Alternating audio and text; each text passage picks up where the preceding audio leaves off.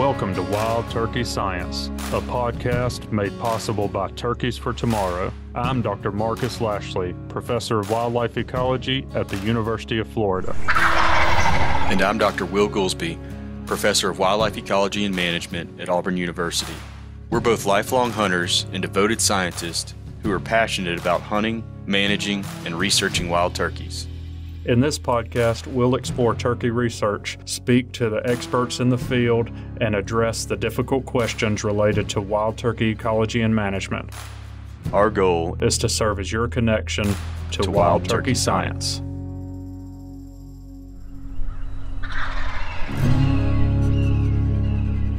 We've been having a phenomenal discussion that we have not clicked record for, so Yeah. I think we need to make sure we capture all this brilliance that you're you're bestowing upon me.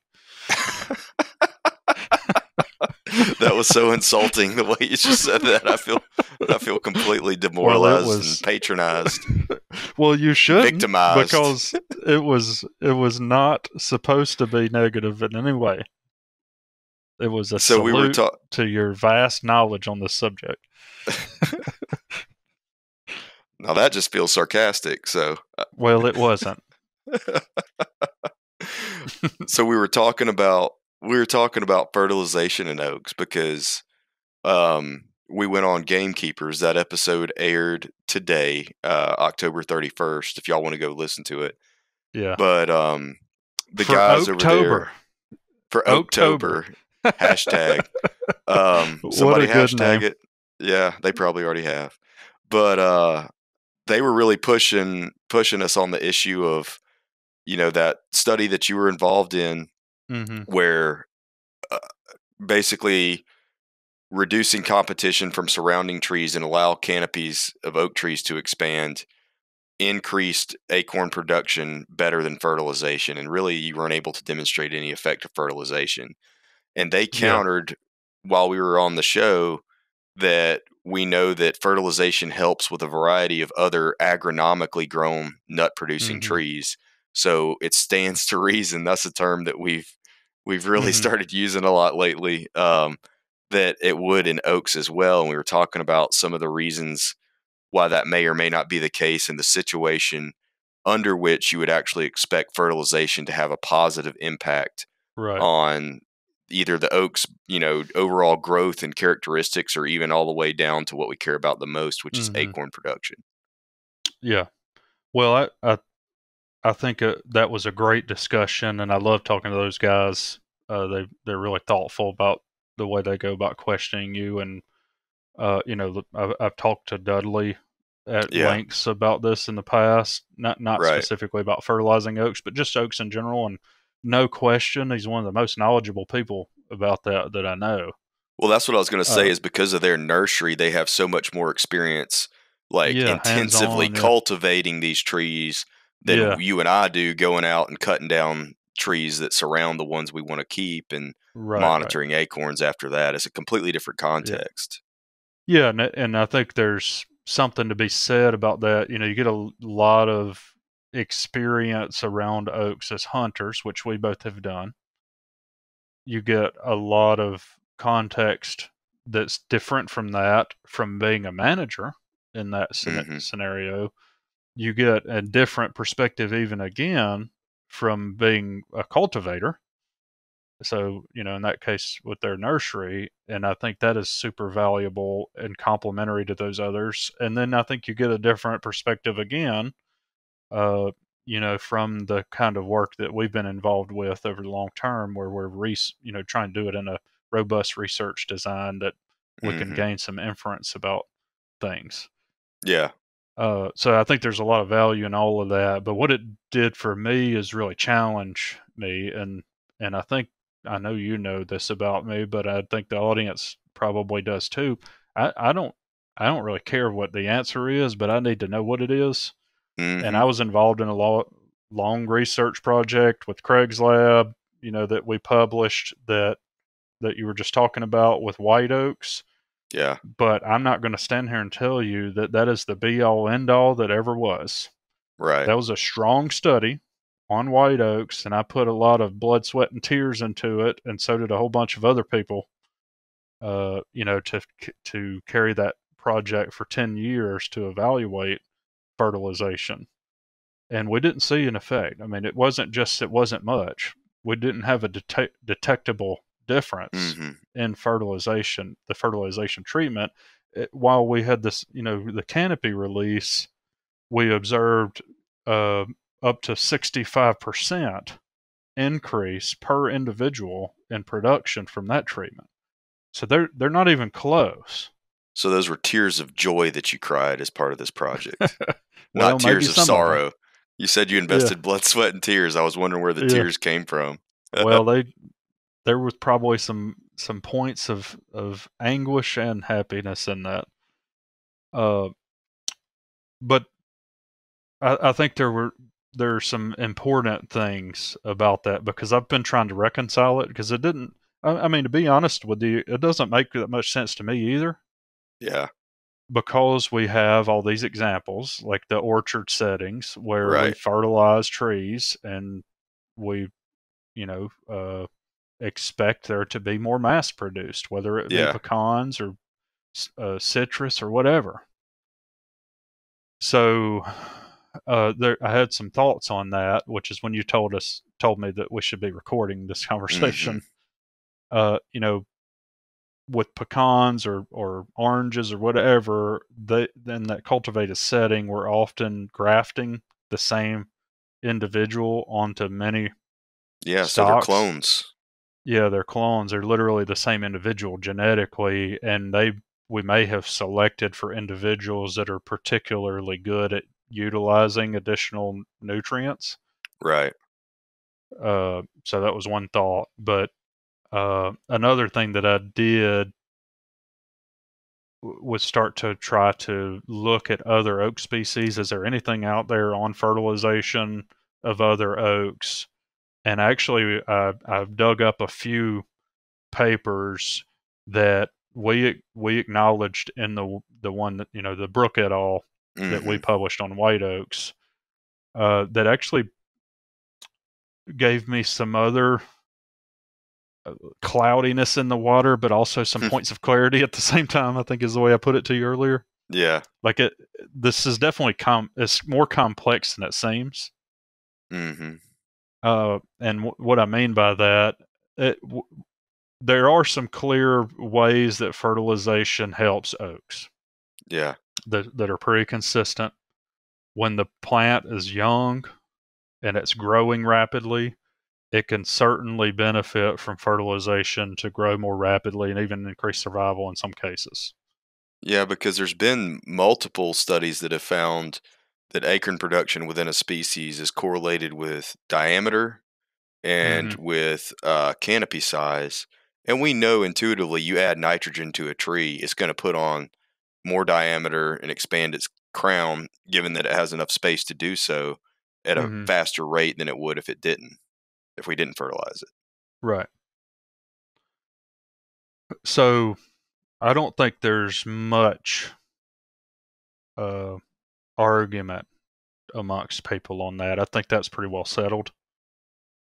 The growth rate, uh, in particular, is enhanced through fertilization. Yeah.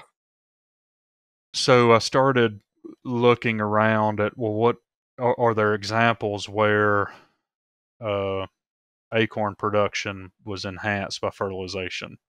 And there are some uh, on other oak species. One of them uh, was on bear oak, and this was from like when was this published? 1977. Back in Mhm. the days when all the good stuff was done, you know? Man, there Yeah. was a lot of good work done back in those days, you know? So, People had people had good heads on their shoulders. yeah, we'll, we'll leave it at that. so, Bear oak, for those of you that are out there scratching your head at what I'm even saying, I'm literally saying B E A R, bear. uh, yeah, because when you first said it, I thought it might be like B A R E. yeah, or burr, B U R R. Yeah. so, no, it's Bear oak, and I I didn't know where it was because you asked me where where is that oak even at? Where does that even exist? and I didn't know right off, but Probably did, somewhere uh, where there's bears. Yeah. Well, that turns out that's true. Uh, the other thing is, let's see, they did note for those of you out there that wild turkeys, ruffed grouse, bobwhite, gray squirrels, white-tailed deer, and black bears feed extensively on bear oak acorns. Extensively. Yeah, they didn't even cite it. They just they just made it so. upon us. yeah. but you said it's um it's kind of like it's kind of like from the mid Atlantic. It occurs from the mid Atlantic region up to Maine, right?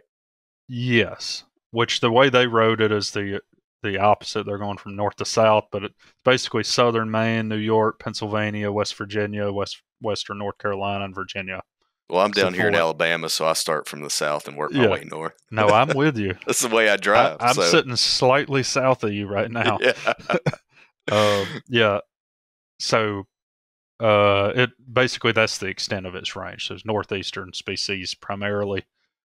but you mentioned to me that it tends to grow on very poor soils. Yeah, that that was the other thing I was going to say. They described it as occurring on acid, rocky, or sandy, sterile soils, especially dry, sandy barrens or rocky hillsides, up to 900 meters in elevation.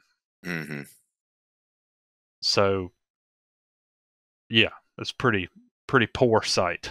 I'm Stands guessing there's probably not a lot of other things that that are flourishing in that environment, especially in terms of oaks. So, uh, yeah, th- they did a fertilization study in that one, and they were well. First of all, on bear oak, apparently mature acorns are first produced at three growing seasons old. What?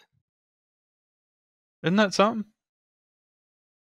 You know, I just uh I hadn't posted it yet, but I got a I got another really interesting uh set of images and and footage from Quercus pumila, runner oak. Have you ever been around it? Well, that's what I was. It's, it's exactly what I was about to say. I said this sounds like runner oak.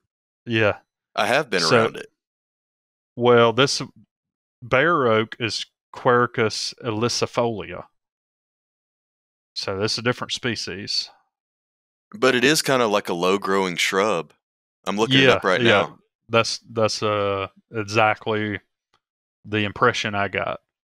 Kind of like that runner it, oak. that it is a it is a dwarf oak. It's probably more like uh dwarf live oak is my guess. It's probably Mhm. not running as extensively from yeah. rhizomes. I, I wouldn't guess, but maybe it is. I don't know. But anyway, Boy, that looks like a fire adapted tree to me. yeah. Well, and it, I mean that would be where fire would occur in that landscape. Absolutely. Uh, it would have been frequent, probably.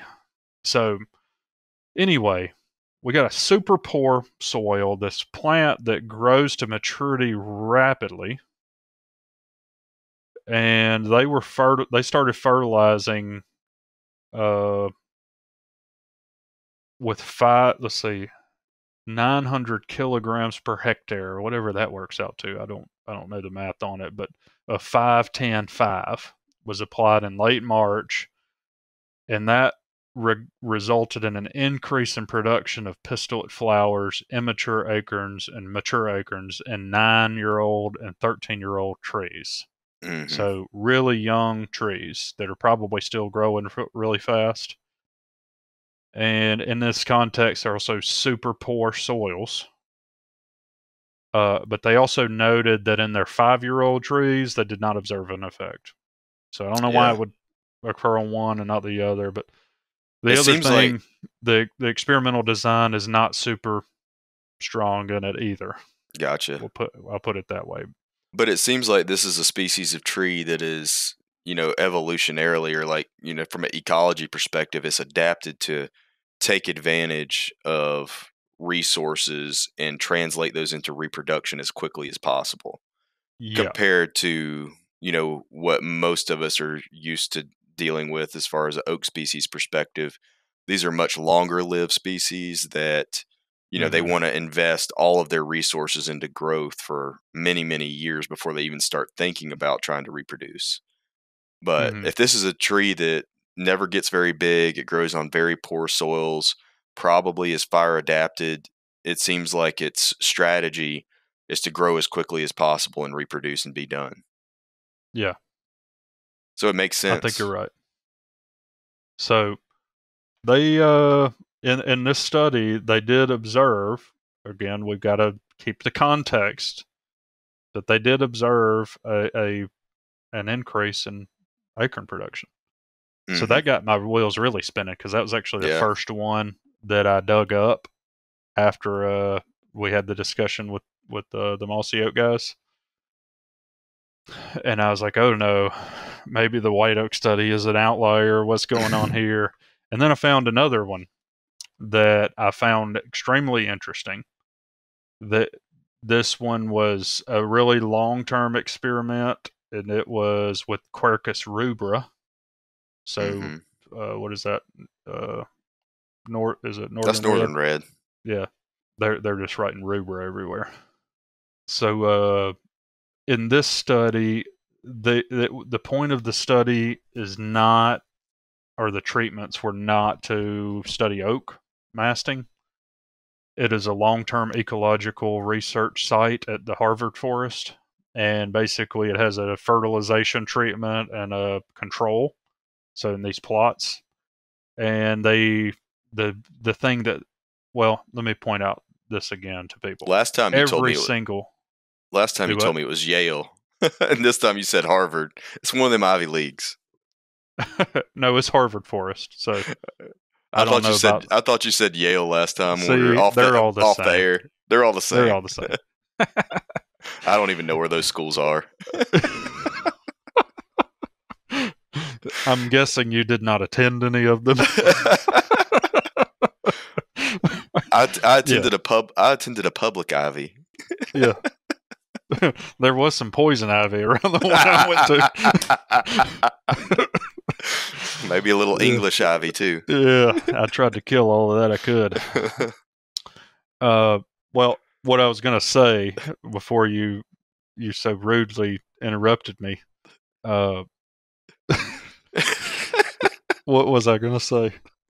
I'm so oh, sorry. All, the, all these studies, all these studies, you, you can't do everything perfect.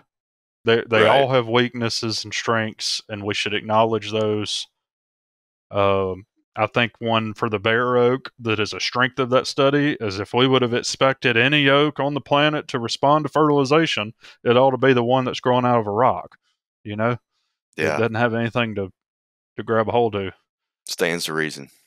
So anyway, this this study was not designed specifically for this purpose, but they did have plots that have been fertilized with nitrogen for 25 over 25 years. Mm-hmm. They've been doing it a long time. Yeah. Right. So I think that's the real strength of this one, and they they were calculating uh, mass production in those plots. So uh, they don't have before after data, and that's a weakness, but they do have the control impact data, and it was over long term, so I think that should be noted. They saw in uh, the couple of years that they measured it, which was following this history of fertilization or not, uh, they found that the oaks were producing four to nine times as many acorns. Wow. In the fertilized plots. Now, the other thing that I found remarkable is that all of that extra production was negated. How so? Well, uh, there's this little insect called uh, Curculio, which is a little weevil that attacks the acorns on the tree, and they had a commensurate increase in destruction of the acorns while they were developing on the trees in the fertilized plots. So basically, the tree produced more acorns, but a whole lot more of them got eaten before they fell off the tree and were rendered. So it's basically a compensatory mortality. Yeah. So mm basically, you increase product investment in production, but uh, more of them got attacked by weevils, so there still weren't more seeds available for stuff on the ground, and uh, they actually recorded that fewer of the seeds germinated uh, So- in the plots that were fertilized. Is there reason to believe that that same that same process would play out elsewhere, or was that just like a stochastic, random chance event you think that happened in this particular study plot? Well, these these were replicated, so this was a consistent pattern across their their replication. They said in here that it was So this wasn't just like one study plot; they had these replicated spatially. Yeah, and it you know it's overall a pretty solid study, although it wasn't designed specifically for this purpose. I got you. and the reason I'm saying that it would have been nice to have data before either treatment occurred Mhm. to make sure there's not some inherent Yeah. differences between them. But again, that they were taking advantage of the fact they've got plots that they've been doing this for 25 years on. I'm sure there's there's probably all kinds of things published from these plots. I'm guessing. Yeah. You know, one of the things that comes to mind for me about this whole situation is I wonder if when we go out and do this type of experimentation in a naturally regenerated forest, um, are we just not able to tune into the signal for all the noise? You know, that's something that we talk about as scientists all the time the signal to noise ratio. Like there's all Mhm. this noise out there and these are the things those are the factors that we try to control doing you know in the process of scientific research and just to tune in on the specific signal that we're interested in but when you go in and you manipulate like i said a naturally regenerated mixed hardwood forest is there just too much noise so that a treatment like fertilization doesn't it just gets it just gets uh, muffled out by all the other unaccounted for variation that those trees are experiencing. I think there's probably something to that. But on the flip side, the effect of the effect of removing competing trees emits a clear signal. Uh, yeah, pretty much everywhere I've seen it. The the old time Healy work, I mean, it's been foundational, and every experiment that I've seen, a thinning or canopy release treatment Yeah. has resulted in a response in, in mass production. So the effect size, or that would indicate to me at least intuitively, the effect size of reducing competition is so much greater than fertilization that you can't even find that fertilization signal unless maybe that you're in some kind of very controlled plantation setting, you know, Mhm. where it's easier to document because things are so much more consistent for each tree. Yeah, there may be something to that. I don't know. Another thing I just thought of is there may be consistent responses of the oak, for example, to the fertilization, but then there's a commensurate increase in insect damage, but that wouldn't occur in agriculture either because we commonly control Mm, insects. Mm.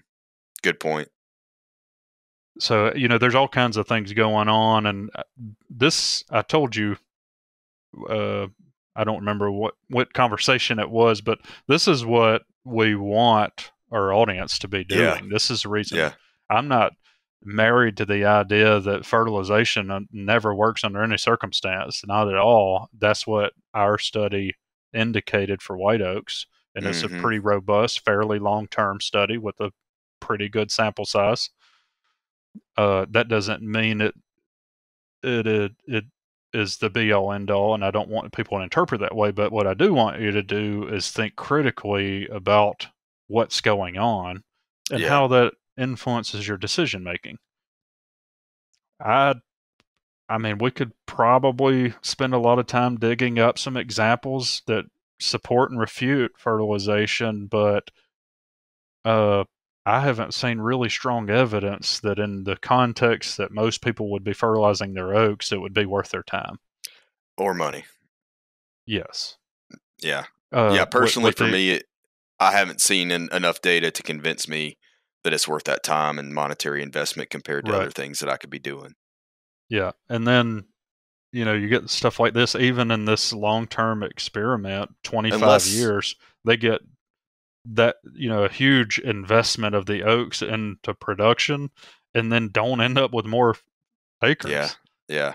Even though there more of them got produced on the tree, like it, it's starting to make sense to me now why we wouldn't be able to capture that. You know, maybe Yeah. Fertil- that, that's what they pointed out in the study is that fertilization is affecting so many different factors in the system that would affect the uh, enemies of the oak. You know that it, that it basically just negated the benefits of the extra nutrients because it they had extra enemies as a result of it too. Right. That makes sense. Yeah, I mean, I, I, to caveat my point that I made just a minute ago about it not being worth my time, it I think it absolutely could be worth your time in a situation where you're planting oaks. yeah um, if you're and if you're trying to get them established or to maturity really fast that is Yeah. a completely different thing than trying to have a magic bullet to double acorn production Yep. I, I don't. I think a lot of people are fertilizing with the understanding that they are doing that to substantially increase mast availability in near real time, and I Mhm. just don't think that is a a really feasible uh, outcome. Like it, it, I just don't. You know, maybe there's some circumstances where you get a little bit out of it here and there, or maybe even a lot in some cases. Maybe if you do it for 25 years, but even in that example, it still didn't make more acorns for turkeys. That's right. You know, one thing that uh, has really been surprising to me about this episode series is we've covered a lot of controversial topics that you think would get people fired up, but we've gotten, I mean, almost comparable feedback on this type on this topic compared Mhm. to some of those other ones that are really considered hot button topics in the turkey world. Yeah, that's a good point.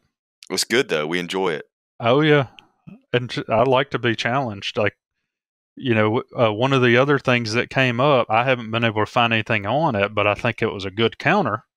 We got a listener that brought it up to us, I think, and then they brought it up on Mossy Oaks uh, Gamekeepers when we were on it. Uh, you know, we we were talking about the oaks that are fairly unproductive, just Mhm. taking up space. And then some people have been like, well, what if those are the ones that are key for fertilizing the the ones that flower really well and end up producing acorns?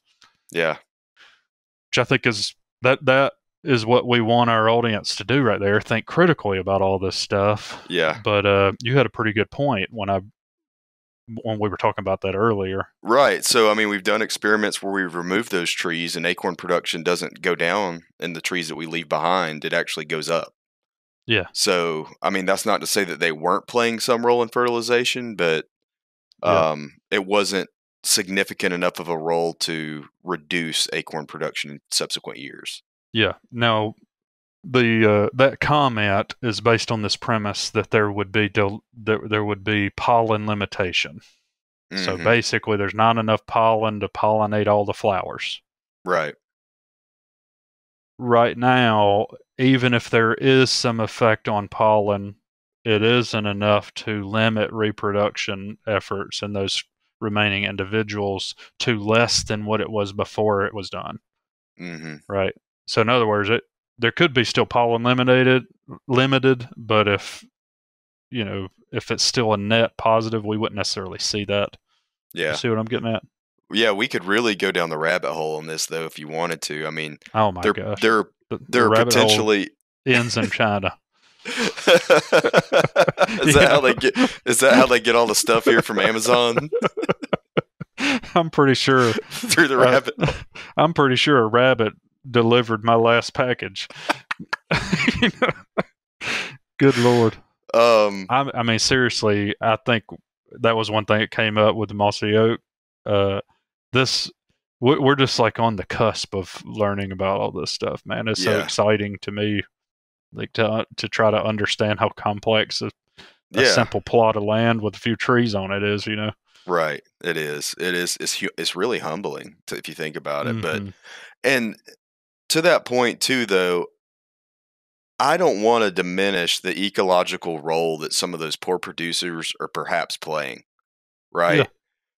There's there's things there like like you just mentioned that we don't even know, and we may never know what their role of those trees is or could potentially be.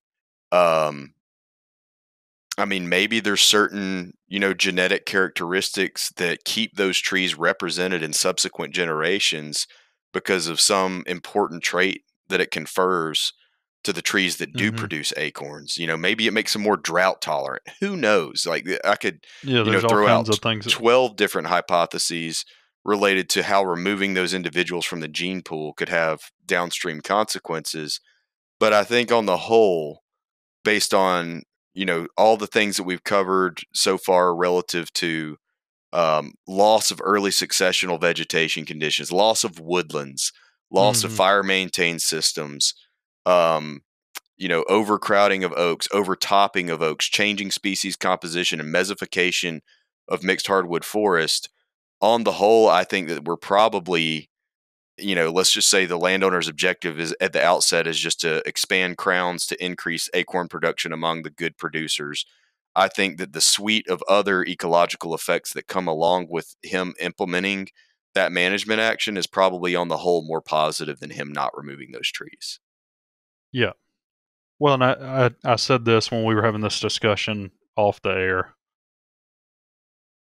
We I, I agree with you. We're not saying that that you must remove the poor producers and leave them, but we are in a situation where the desired forest structure conditions, especially in upland hardwoods, is not present, and removing some trees would allow us to get closer to what those desired forest conditions are for many objectives, and uh, not just turkeys, but turkeys is certainly one of them.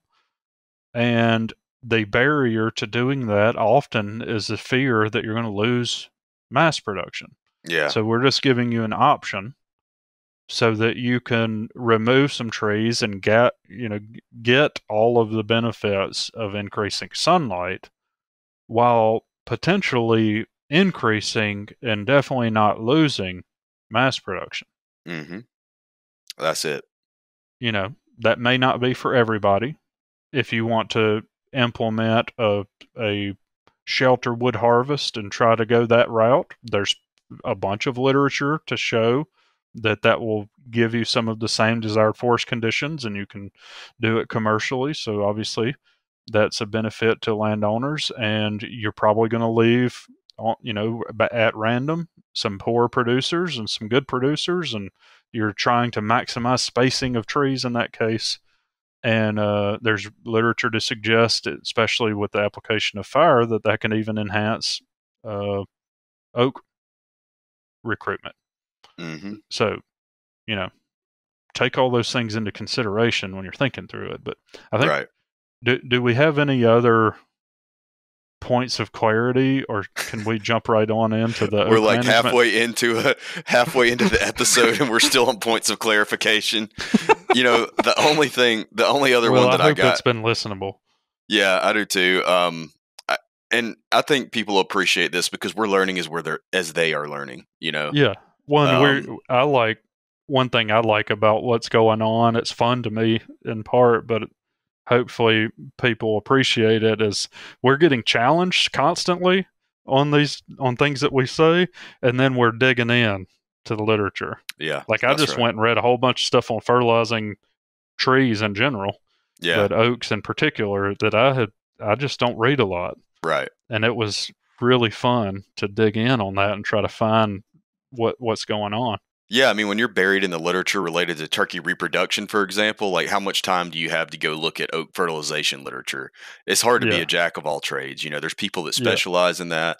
And uh, you kind of hope that they're doing the work, or you partner with them to do some of this work because you can only you only have so much time in the day. But one other point of clarification that I was going to make really quickly, and then we'll move on, or I say really quickly, it may be we may belabor it out into another 15 minute conversation. But uh, you know, we when we I shared a statistic from a paper um, in the last episode where I said, you know, I think it was gobbler abundance specifically peaked at when about 30% of the landscape was comprised of hardwoods.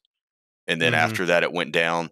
I wasn't saying that to then follow up with a management recommendation that if you have north of 30% of your property covered in hardwoods that you just need to cut all those down Mhm. um, i don't think many people would have made that inference you know from that from that data but just in case they did i wanted to make that point of clarification and also as we're about to go into um, the reason that that abundance probably went down beyond 30% of the landscape in mixed hardwood forest is because that mixed hardwood forest was probably all mature closed canopy forest. For the most part, almost certainly was. Yeah, and with turkeys being generalist species, they need different stand types and ages to complete their annual, you know, life cycle. So Mhm. If you diversify, you know, let's say you have 60% of your property in mature closed canopy hardwood forest, if you diversify that out and you provide for those other habitat uh, needs within the context of that hardwood forest, you can still, you know, you can you can move beyond that um, that peak abundance threshold. Does that Mhm. make sense? Did I explain that that well? I feel like that conclusion wasn't as solid as I wanted it to be. Yeah, I, I think you know the the results are within the context of the way things are being managed, and you can Mhm. implement strategies, force management strategies that change the relative importance right. of force types because Yeah. you've changed the the structure of it and how it's used by turkeys. That's right. E- even if you're in a landscape that's 100% oak forest, you can manage some of that forest in such a way that it produces things that it usually without that management would have, Right. like nesting and brooding cover. Right. Cool. So let's get more into the implementation of different silvicultural techniques to manage uh, mixed hardwood forest for turkeys. And I think central to this discussion is going to be uh, the way that we remove trees, right?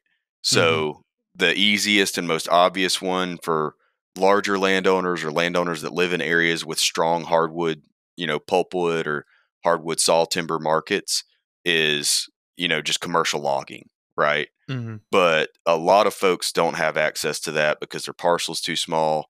Um, there's not a market for it where they live and things like that. So that oftentimes that has us um, leaning towards herbicide injection in some format, right? So Mhm. More people are probably familiar with hack and squirt than any other technique. Um, and so that just entails making cuts through the bark into the cambium layer, the living tissue of the tree, usually uh, at a spacing of every three to four inches around the tree's circumference. And then you inject a, a, a, uh concentrated herbicide solution into each of those cuts. Probably the one that most people are most are familiar with, or the kind of the go-to standard, is a 50% Garlon 3A, 50% water mixture Mhm. uh, for that application, and that's a good one. Um, if we want to go into it, we can. Uh, the only drawback to that solution is if you're killing hickories, that's Garlon's not very effective against hickories. The other technique um, that has become both yours and my preferred technique is girdle and squirt, and Mhm. that's thanks to Dr. Craig Harper that that introduced us both to that technique. And so instead of you know hacking with a hatchet or a machete or something like that every three to four inches around the tree, you're just running a quick ring around it with a chainsaw, and then you spray an herbicide concentrated herbicide solution into that girdle. Yep. I'm sorry. I'm typing one thing. Uh, we're going to link in the show notes a document that Craig wrote. Have you? I'm sure you've probably looked at Yeah. this document before. I have. he has a really great extension document and for stand improvement, and it has really good visuals and kind of gives you a recipe. But Yeah. one thing I was going to add with the Garlon mix, with in this document, he points out uh, that he likes to use Garlon mixed with uh, Arsenal, Mhm. Arsenal AC, and and that's what we tested in Mark Turner's study. Yeah. Oh, good. Yeah. So you're going to talk about that some. So there, there are, like you said, uh, there are a suite of species. Hickories are one of the most common that Garlon don't control effectively. That the arsenal complements that herbicide and does well with. Right. uh, it is more expensive to add the two together, but it's also a little easier for people to deal with. So if you're dealing with a suite of species uh, that trick the triclopyr Garlon uh, is weak on, like hickories uh, in the mid south, sourwood was another one I know uh, that we dealt with a lot when I was working with him up there. Mhm. Uh, black cherry, th- those are tend to be on the weak side. The arsenal covers those pretty well. yeah. But the arsenal also has some weaknesses, like it doesn't affect pine or uh, doesn't do very well on. Let's see, he listed actually a bunch of things: honey locust, black locust, mimosa, redbud, the elms, wax Mhm. myrtle, red cedar. So, you know, one or the other can be effective in some circumstances, but combining them uh, can be a way for if you if you need a more broad spectrum and and don't want to have to worry about Yeah. those weak sources. But you definitely have to be a little more careful with the arsenal, uh, Yeah. which I'm sure you're going to talk about. Yeah, so we used that specific solution is 50% Garlon, 40% water, and 10% Arsenal AC. And you have to mix them in that order so that the Arsenal and the Garlon don't gel with each other. Make sure you put the water in between. I always I have my class Yeah, mix this because we Yeah. do we do some forest stand improvement as part of the habitat class, and uh, I always ask them like, so if we just pour these two together, what are you going to get? And they all just look at me with a blank stare and it's like, you're going to get jelly. they won't spray through there very well. so they learn from that moment. Uh, Yeah. yeah, you gotta you gotta water down the Garlon before you put the arsenal in. yeah, you do it once and you waste, you know, 12 ounces of Garlon 3A and, you know, a few ounces of Arsenal and you won't do it again. Mm-hmm. But um, yeah, in that study, we didn't deal with a lot of those resilient to Garlon species, um, except for hickory. You know, hickory was the Mhm. big one, and Yeah. the hickory stems that we treated with just the Garlon water uh, treatment, they were like 50-50 alive and dead um, several months after treatment, whereas the hickories that were treated with the solution that contained Arsenal AC, pretty much all of them were dead. yeah, And you have a- we did. did Go ahead. Mark Mark authored a paper on this, right? Yep. Yep, that's Turner et al. it. Yeah, that's Yeah. Turner et al. I think it was probably around 2020. I'm not sure the exact year. Yeah, I remember it coming out, uh, so we can link that as well for people that want to look at it. Right, but w- you know, you mentioned that when you're using that uh, that solution that contains arsenal, that you have to be careful um, because arsenal can is it's a soil active herbicide. Um, it is particularly deadly against most of your hardwood species. They're they're fairly sensitive to it. Um, so if you go about you know splashing it around willy nilly, there's a chance that you're going to get some non-target mortality. And that was one of the If you reasons. spill it on the ground yeah, if you spill it on the ground, or you or know, if you're plant, excessively spraying it into your girdle or your or your hack cut, you know, and it's dripping out, then that might be a concern as well. But the reason that we wanted to include that solution in this study was not only to see, you know, how it broadened the effectiveness of control compared to just Garlon and water, but also to see if we had any non-target mortality.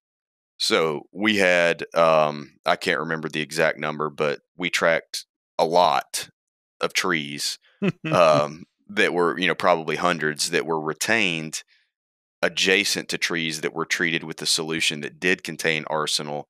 And the only instance of non target mortality that we were able to document was a clonal sweet gum. Basically, a sweet gum that had root sprouted off of one of the sweet gums that we treated with the solution, and we got it too. So that was a, Yeah. that was a win win in that particular Yeah. situation. But we didn't see any non-target mortality in the in the treatment areas um, that w- where we applied the arsenal solution. hmm Well, that's good. That's really, really good data. That is definitely a common concern. Right. And in fact, I mean we have. couldn't we couldn't capture this in you know the statistics that were published in the paper, but I have pictures of it and uh we could we could even share them if we wanted to and have them pop up in the YouTube video.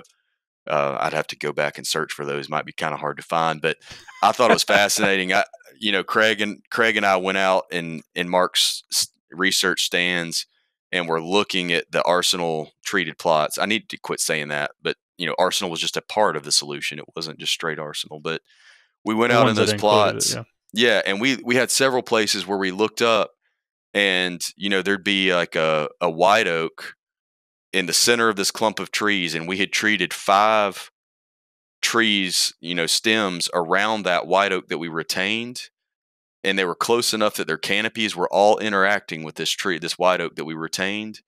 And you see, you look up at the sky, and you see completely defoliated canopies of all the treated trees, and then our white oak stands in the center, completely leafed out. You know, no Yeah, damage whatsoever. Happy as it can be. Yeah, and then a lot of times those were conspecifics, the same species Mm-hmm. that we had treated that were directly adjacent to that retained tree. And that's important because a lot of folks think that there's an opportunity for root flash where the herbicide is transmitted through the roots from the treated tree to the retained tree if they're the same species. And we didn't see that Mhm. either. Yeah, well that that's good information. So uh yeah, as long as you're using the solution appro- appropriately where you're getting it into the wound the appropriate amount and you're not spilling it or anything or letting it run down the tree or Right. however else you could do it incorrectly, I guess. Uh, it doesn't sound like, at least in your study, that was a concern at all. No, but there are a couple other studies out there that have documented some non-target mortality. I'm not exactly sure what the reason for that is. Uh, we speculated a little bit about it a little bit in the discussion of that paper, and thought it may have been related to differences in soil types. Um, but we'll post a link to that paper so you guys can read through it if you're interested in more detail. Mm-hmm. Yeah, that's good. Okay. So, why would we use that treatment or how? Yeah, there's a variety.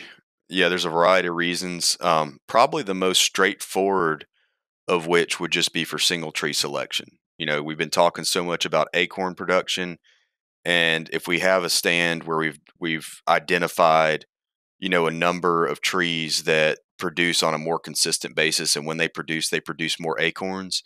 We probably want to remove the the competition from around those trees.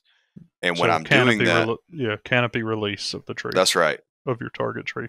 And so when I'm doing that, um, the first trees that I'm looking to treat to kill um, are obviously going to be those from a turkey management or even a deer management perspective, because I know there's a lot of overlap in the two, are going to be the ones that offer relatively limited value to those species. So, you know, mixed hardwood stands, upland mixed hardwood stands, you know, sometimes you'll have pine trees. Oftentimes I'll get rid of those. I'll, I will say this though, if you plan to burn them, sometimes it's nice to have a little bit of a pine component in Mhm. that stand because it helps you carry I the like fire. the feel. Yeah. Yep. And uh, so, but we can remove those. Poplars are a big one. You know, I oftentimes target poplars. Sweet gums, obvious choice to get rid of. Um, maples Red in many maple. circumstances. Yeah. Yeah. Um, Sometimes And- there's ashes involved, Yeah. depending on what your landscape Yeah, context green is. Green ash is a big one. So, you know, look to those species, particularly the non oaks, the non mast producing trees. Um, and oftentimes, if you're just trying to release canopies, you can do that without having to take out too many oaks. Mhm. But if you find yourself in a situation where, you know, it's all oaks in the stand, you might start looking, you know, first of all, at the relative differences in acorn production between the tree you want to keep and the trees that you're thinking about targeting for removal. Obviously, remove the poor producers first. Beyond that, you might start looking at the growth form of the trees, right? And if they've got mm-hmm. a split halfway up the limb or something like that, I would probably target that tree for removal versus one that it's adjacent to. Okay. So we could use it for release or just opening up the canopy in general. and- Yep, and so we can use this- some combination of both. Yeah, so we can with that approach, you know, if I'm just releasing the canopies, all I'm going to do is I'm going to go around my good producers and just kill any tree that has a canopy that's touching the canopy of my good producer. Now, hmm if I want to do that and return some sunlight to the ground at the same time, then I'm going to be targeting additional trees for removal. So I'm moving out beyond those poor producer or those low wildlife value species that are directly interacting with my desired tree and moving out into, you know, removing some other low value trees and maybe even an oak here and there until I get my desired canopy Mhm. reduction. And in a lot of cases, like if we're trying to um, create like an oak woodland versus a savanna, we're only Mhm. going to just take it down to, you know, we want like 30% sunlight coming into the stand versus the typical mature hardwood forest where it's maybe 5 to 10% sunlight. Mm-hmm. Yeah. I, I was just thinking through this. So, you know, a lot of what you're talking about, we're using some sort of treatment. It could be the timber harvest if you're in a situation where you have trees that you can come in and cut. hmm Uh, but you, you've been talking about these alternative practices as well, and it's been focused on on dominant and co-dominant trees. We'll say Yeah. things that are, you know, the the mature trees in the stand. Right. And I was thinking about that, and there, it dawned on me another reason that I've seen it used. Uh, one of the first examples that I saw that I really liked it was actually John Gruchy that we've, I, I think we've had on yeah. Yeah. Uh, what two or We had- maybe two times. Uh, but he had implemented this treatment on a site that I came and you know I wasn't a part of it, but I got to come see it with him after the fact. And they didn't treat. I don't think they treated any canopy trees in that particular stand, but uh, it it has some relevance. I actually was uh, on the committee of a student uh, that published a paper on this, McDaniel et al. 2021. We can put that in the show notes where she simulated uh, the contributions of different species to the litter and then looked at how flammable the system was. So would it Mhm. carry fire or not? And I'm talking about things like maples and sweet gums and you know hickories and that kind of stuff, and then oak litter. A lot of our upland oaks are fire uh, promoting species. They have traits, especially with Mhm. leaf characteristics that promote fire. So, all that to say, what they did in that stand was go in and remove a lot of the stuff that was not very flammable. Mm, And a lot of that yeah. was just mid story. right. So, it was the sweet gums and maples that were in the mid story. It was uh, elms and, you know, uh, hop hornbeam and all that kind of stuff, beeches. hmm So uh, they didn't, in that particular context, focus on the overstory. But the point I was trying to make with that is, based on her study, it doesn't take that much contribution of those less flammable species contributing to the leaf litter before the stand doesn't burn very well anymore Yeah. and this is another way that you can increase flammability and i saw it in that stand where where uh, they did that when they removed a lot of those species where most of the leaf litter was being contributed by the overstory oaks it was then much Mhm. easier to burn even though they didn't open up the canopy in that Yeah. case uh, but if you pair the two then you can really get a long way you know Mhm. having uh, the broken canopy allowing enough sunlight for plants in the understory to respond to fire, but also creating a more flammable system. you Yeah. know, by removing some of these these trees that are, you know, less desirable for Makes not sense. just for turkeys, but also because it makes it less flammable. Right. Yeah, it makes sense. I think anybody that is listening that's done much burning in hardwoods would wholeheartedly agree. I mean, it's so obvious because you know if you're just used to burning in pines, you'll have you'll have different slight differences in in fuel loading and and fuel type throughout a pine stand, but not as stark as the differences as you see when when a fire burns through a mixed hardwood stand and you know it'll get up underneath like a white oak or a red or something like that Mhm. and it's just it's just cooking right along and then you come up to a water oak and there's like a zone of inhibition Mhm. around that water oak where it's dropped its leaves for years and years they've compacted they've held in moisture that fire just doesn't penetrate Yep. and you know there's a whole laundry list of species that do that same thing i just use water Oh, oak yeah. as an example Yeah, no, that's a good good example. Yeah, I think in uh, in the study I was trying to remember. I, I just pulled up the abstract of it. Uh, uh, let's see. It was only thirty three percent contribution, I think, from those those less flammable species. Yeah. Before you had a significant decrease in flammability. Yeah. That's an easy threshold So- to cross. Yeah, and uh, and you know she had to capture a bunch of leaves and quantify the contribution of all these species. Uh, and uh, yeah, just the mid story can contribute that much.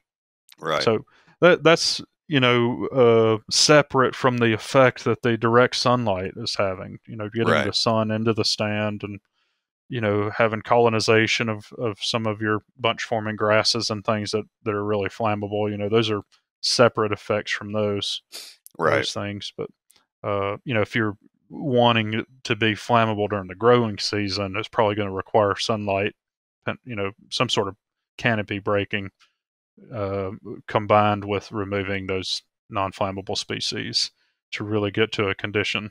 Yeah, if you're wanting to burn it during the growing season, I would recommend going down even uh, Yeah. further in your thinning because I Yeah, mean that leaf area, area.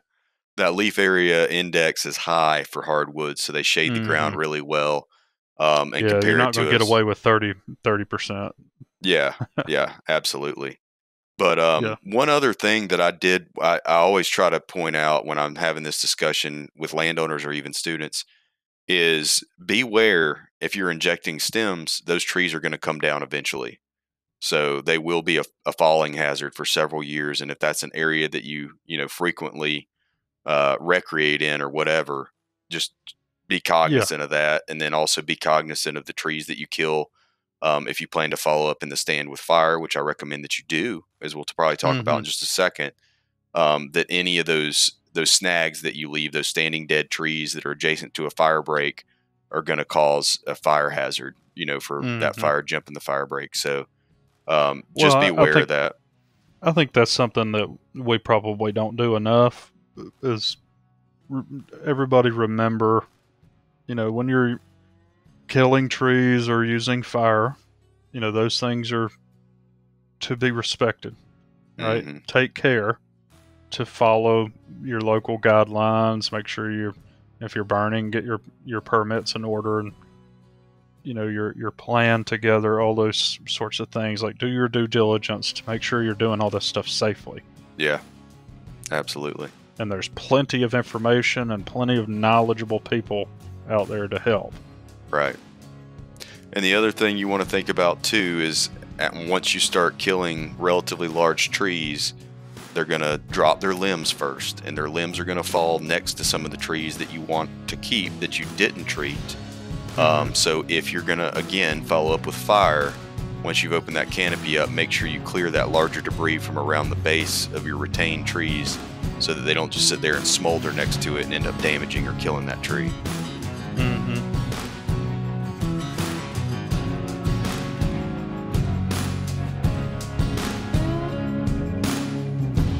Wild Turkey Science is part of the Natural Resources University podcast network and is made possible by Turkeys for Tomorrow, a grassroots organization dedicated to the wild turkey. To learn more about TFT, check out turkeysfortomorrow.org.